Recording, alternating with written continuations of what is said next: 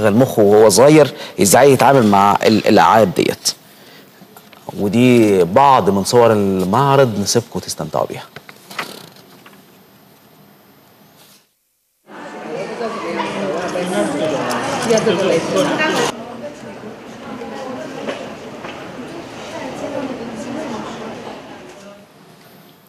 ومن الصين إلى تايوان وشركة تايوانية استخدمت 4 مليون زجاجة بلاستيك ملونة لإنتاج نسخة عملاقة من لوحة الرسام الهولندي الشهير فان جاخ آه، هي لوحة بتحمل عنوان Starry Night عشان تشجع إعادة تدوير القمامة وخصوصا الزجاجات البلاستيكية. بجد أنا بشجع الأفكار الجديدة المختلفة اللي بتكون فيها يعني نوع ما من أنواع الخروج بره التفكير العادي. اللوحة بتغطي 53 هكتار في متنزه اسمه Starry Paradise عند أطراف مدينة كيلونج في تايوان آه وعرضت أمام الجمهور في ذكرى مرور 125 عام على وفاة الرسام الهولندي الشهير فان جاخ أحد مسؤول العلاقات العامة في الشركة اللي اتبنت هذا المشروع قال إنهم بيفكروا في دمج فكرة حماية البيئة بالزجاجات اللي تم إعادة تدويرها وهذا المنظر الطبيعي لخلق قطعة فنية حتى يمكن للجميع أن يعرف الجانب الآخر من إعادة التدوير. كان فان جوخ انتهى من اللوحة الأصلية 1889 قبل عام من وفاته مستخدما الألوان الزيتية على قماش من الكتان. أنا مش شايفها كويس. يعني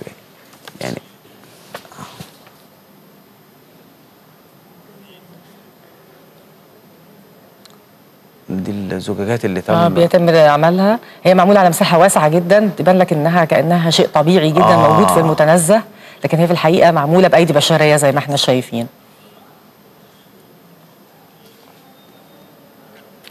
ومن الألعاب إلى الحلويات أشكال الحلويات تطورت بشكل كبير جدا في السنوات القليلة الماضية لدرجة إن في حيوانات مجسمة زي ما إحنا عارفين وفي حلويات مجسمة باستخدام عجينة السكر ال- هذا الأمر انتشر في عالم التواصل الاجتماعي وبالأخص على الإنستجرام. آه، انتشرت صور لحلويات وجاتوهات مصنوعة بمهارة زي ما إحنا شايفين وحرفيه عالية وبدأت الحلوى عاكسة وكأنها مرآة. الحلوى التي بدت بألوان مبهجة حازت على إعجاب الكثيرين. أعتقد أن الأهم أن تكون قابلة للأكل. لسه أقول لك يعني الواحد ياكلها ولا يفضل يتفرج عليها شوية بس لا. ياكلها على طول مفيش وقت دي حلويات.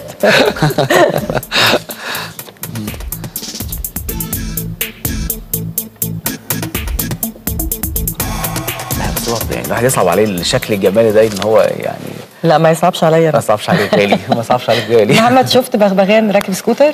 لا. انت بتيجي تتفرج على بغبغان لاب- راكب سكوتر؟ لا دي لسه دي.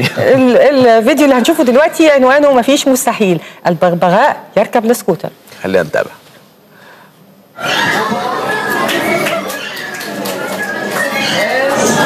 atentos porque él dice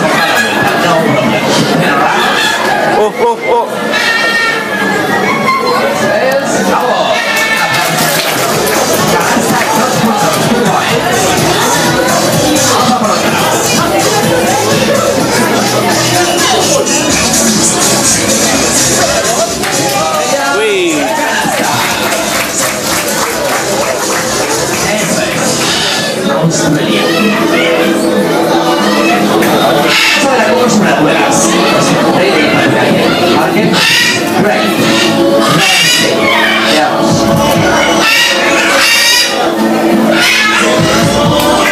Que vamos a las grandes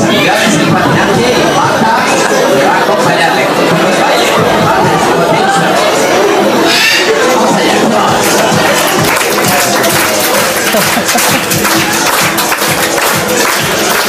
Ha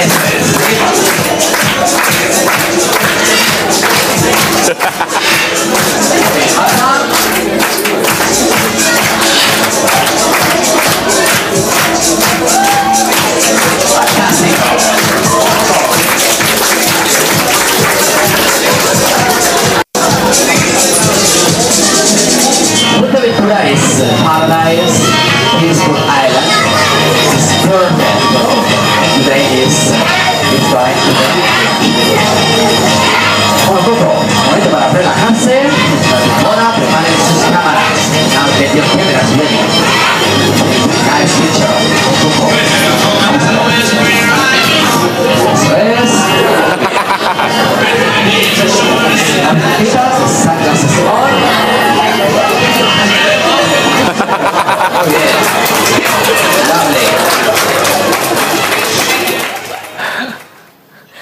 كان ناقص له عوامه نجم نجم. عالي قوي يعني ركب السكوتر باتيناج. كان ناقص له عوامه ومايوه مع الجدارة خارق. أيوه صح. دمهم خفيف جدا. تحبي تروحي فين النهارده؟ آه، أروح فين النهارده؟ أحب اسهر في اي مكان فيه موسيقى. طب إحنا. عندنا فعاليات كتير النهارده إن شاء الله بتشهدها القاهرة مساء اليوم. صحيح تعالوا نشوف في ختام جولتنا الإخبارية كده إيه هي أهم الأماكن اللي ممكن النهارده آه، نخرج فيها ونستمتع بسهرة أو أمسية مختلفة مميزة. آه، النهارده بينظم مركز المصطبة للموسيقى الشعبية المصرية حفل ساهر لفرقة مزامير النيل على مسرح الضمة التابع لمركز حي عابدين.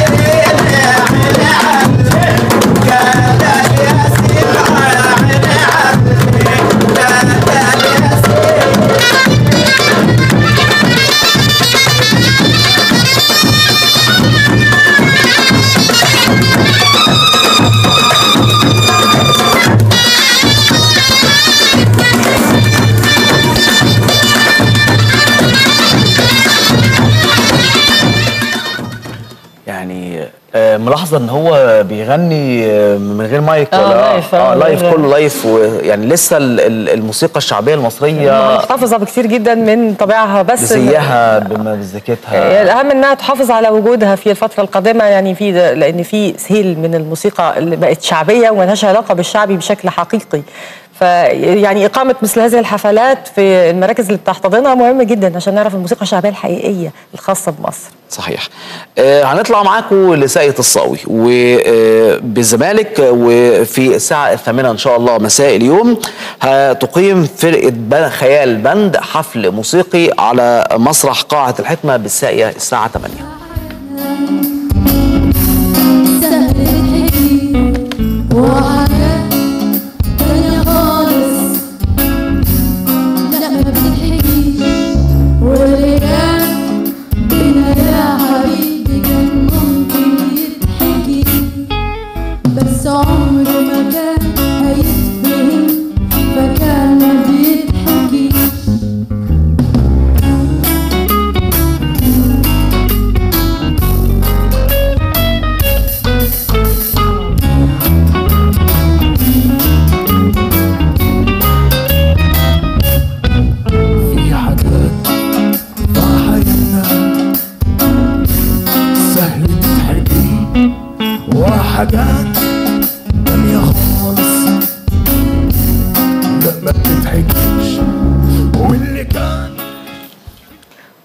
ونروح الأوبرا. في فرقة يحيى خليل الفنية هتحيي النهاردة تمام الساعة الثامنة مساء حفل فني على المسرح الصغير بدار الأوبرا. ده لكل محبي فن يحيى خليل.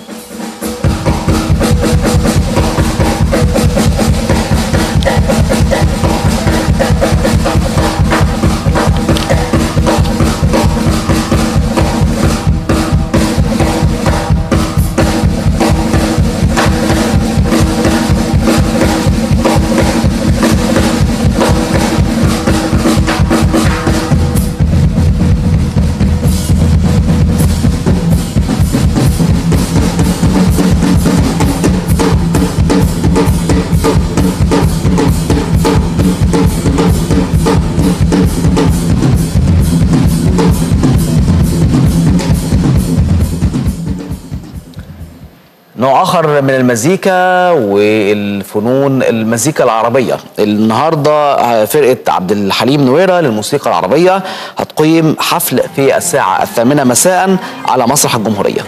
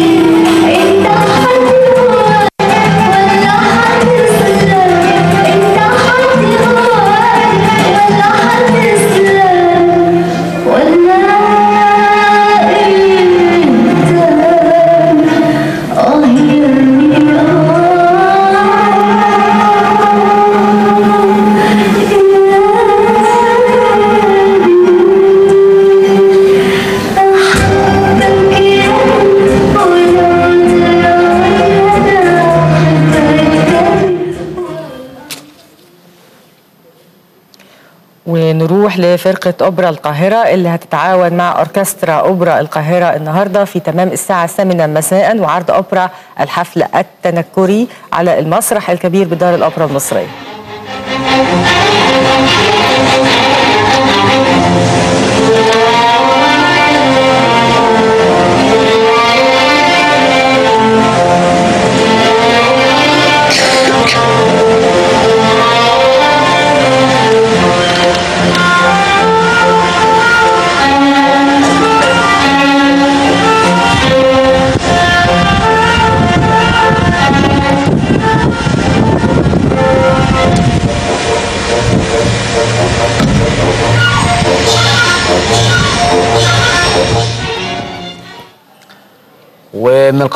هنطلع على اسكندرية ومسرح شي سيد درويش بالاسكندرية. هيشهد النهاردة آه، إحياء لفرقة أوبرا اسكندرية للموسيقى والعربية والغناء. هتقدم حفل فني الساعة الثامنة مساء على المسرح سيد درويش.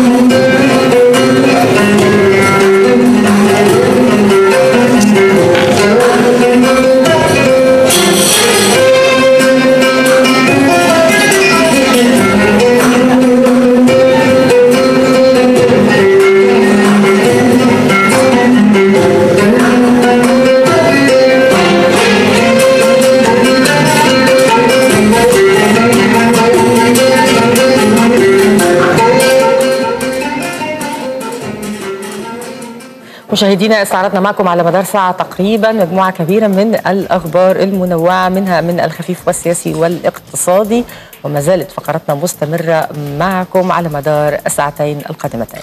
على رأس الساعة موجز لأهم الأنباء وإن شاء الله بعديها تكون معانا أول وقفة حوارية في هذا الصباح. ابقوا معنا.